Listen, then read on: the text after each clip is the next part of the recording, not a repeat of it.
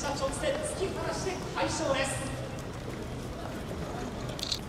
先端外目の追走でした。11番スリーグランド。直線これを引きましたが振り切られた形2着後方寄りから差してきた12番ビュートマンが3着。8時計1分22秒差。上がりタイムゴールまでの 800m は47秒5 600m は35秒8です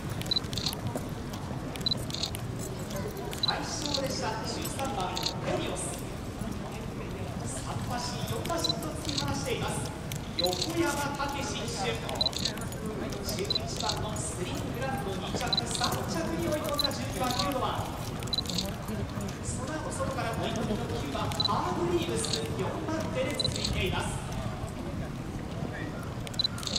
東京来週レースリセット競争バイク対象レースの2つ目でした。グリーンチャンネルカップここは13番ヘリオスが勝っています。